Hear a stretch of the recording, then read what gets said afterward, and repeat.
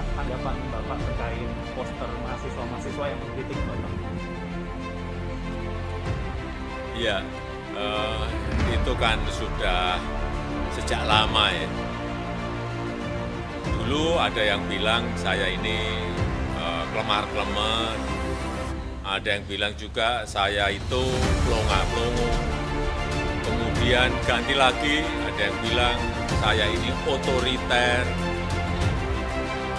Kemudian ada juga yang ngomong saya ini eh, bebek lumpuh dan baru-baru ini ada yang ngomong saya ini bapak pipa. Dan terakhir ada yang